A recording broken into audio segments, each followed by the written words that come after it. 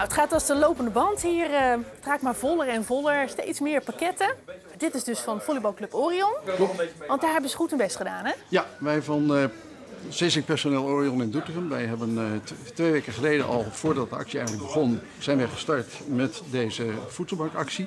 En alle mensen die dus naar de wedstrijd kwamen van, uh, van Orion, die uh, kregen een 50% korting op de toegangsprijs als ze met een, een, een artikel kwamen. Een en dat is dus, ja, dat was massaal. Ja. ja. Het is helemaal niet zo moeilijk eigenlijk om dingen te verzamelen, toch? Eigenlijk is het heel simpel. Je moet er even opkomen. Ja, even creatief zijn en enthousiasme en dat lukte bij Orion.